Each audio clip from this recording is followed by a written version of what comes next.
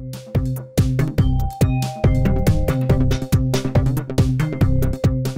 El Consejo General del YECRO aprobó los lineamientos y la convocatoria para el registro de candidaturas independientes durante el proceso electoral local ordinario 2018-2019 para la renovación de la quinceava legislatura del Congreso del Estado. El mínimo de respaldo ciudadano que deberá obtener las y los aspirantes a candidatos independientes será el equivalente al 1.5% del padrón electoral con corte al 31 de agosto de 2018.